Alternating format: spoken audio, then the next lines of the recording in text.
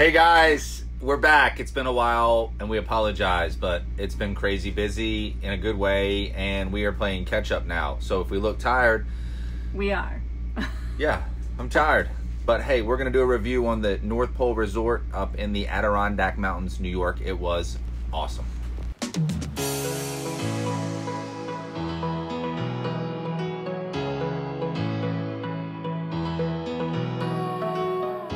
What we consider when we're booking campgrounds, we have a 40-foot Class A motorhome. We flat to a Jeep. We have two kids, ages 13 and 8, and two English bulldogs. What we look for in the campgrounds are full hookups, which for us, we look for 50 amps, water and sewer, Wi-Fi, firewood, propane, proximity to the local attractions, proximity to grocery and other shopping, making sure it's quiet and peaceful, and of course that it's fun for the kids.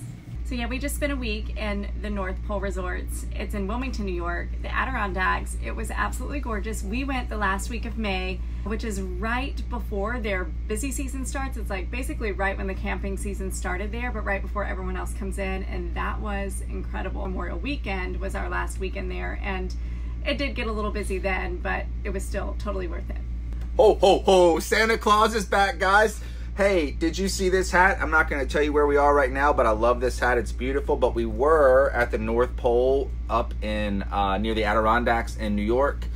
I recently lost my mother, so I've been a lot of there's been a lot of crazy things going on in my life and dealing with that, taking care of the coach. It's been emotional. So if you've ever lost a loved one, you know you're there, but you're really not there mentally. So we left Niagara Falls. We pulled through Syracuse. It was a lot of fun. We got to see the Carrier Dome and the University of Syracuse campus. When we stayed there, Jennifer and I got to have a cute little date night at a casino there, which was really fun to take my mind off of things and help. But since I wasn't there emotionally, Mentally. mentally, see, I'm still not there. but I wasn't there mentally and I was having troubles emotionally. I left one of our hookups uh, my pressure valve for our water sensor and our Y valve. I just I left it at the pull through for some reason. I got distracted. We pulled out of Syracuse. We're heading to the North Pole. So, long story short, when we got to the North Pole, they had honestly I said that about Niagara Falls, the best store I've ever seen, and you'll see the pictures. They had everything. They had my water pressure PSI gauge that I like to use. They had a Y valve that I needed as well because if we didn't have those, the coach is regulated at 60 psi's. It could have done damage and caused water issues inside the coach. Luckily, they came through. I paid out my whoop for it, but hey, I had it and it kept us safe. And so we're good, and I was thankful of that. So the store was amazing. I even bought water shoes there. The customer service at this place is top notch.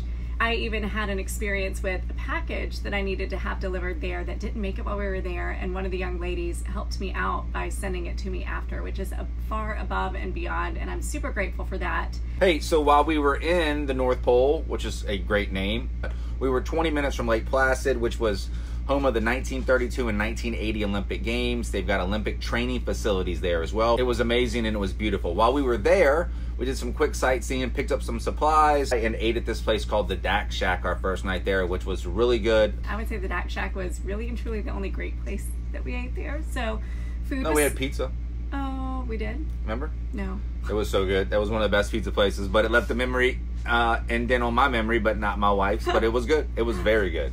As far as activities around the North Pole and in the Adirondacks, oh my gosh, we didn't even scratch the surface and we were there for a week. One of the first things that we did was the Ausable Chasm. Well, I want to say that was about 45 minute drive from where we stayed, but we basically hiked through the Ausable Chasm. So you kind of hike up and around it, and then we went down and we took a guided raft through the water in the chasm. Um, so the Ausable Chasm is one of the great adventures to do there.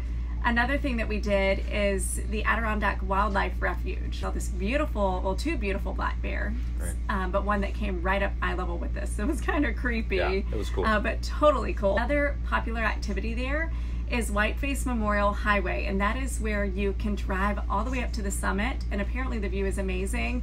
Would have loved to have done it, but this is our lifestyle. This isn't just a vacation, so we kind of have to pick and choose what we're going to do, what we have time for. And that one we decided uh, we would hold off on. But definitely check it out if you're in the area. One of my favorite things, besides my beautiful wife, was the little fishing holes in the mountains and the hiking trails at the Adirondacks. So they had these awesome signs and it told you a fishing pond was here or a pull off was here for fishing or this was a hiking trail here. So we did a half a mile hike to this beautiful lake and I was the only one there fishing, had the whole pond, excuse me, to myself. It was awesome. It was an, an amazing experience. It was surreal. Again, movie like. And that fishing hole was called Quarry Pool Pond, I believe. And like he said, it was just us when we went, but I drove past again on Memorial weekend because we went during the week and it was packed. There were at least eight cars there, so I imagine that's not as enjoyable. But if you're lucky enough to get there and see nobody, pull over and go enjoy it. It's incredible. Yeah. So the kids absolutely loved this location just as much as we did. There's an arcade there on site, which they went and played their little hearts out over and over. They have putt putt. We did not end up doing putt putt, but it looked adorable. There's a great playground, which our little guy met lots of friends on and played a lot there. And there's also a really cool water view. So our site was really nice. We stayed in site 11, which is one of the premium larger sites here that we had this covered picnic table area next to our site. So that was nice. We had this large uh, grassy space for the dogs. There are two sections to the campground. There is the resort section, which is where our site was, and there's also a 100 acre woods section, which is just down the road and across the street. And that's just what it is. It's like a very wooded camp section. But I'm really glad that we had our site in the resort section. It was quiet, so it checks that box. But also, I just liked having the store right there. I liked having the playground and I liked having the arcade and all the things that the kids enjoyed right there where they didn't have to cross the street. We didn't have to worry about any of that. So I enjoyed being in that section personally.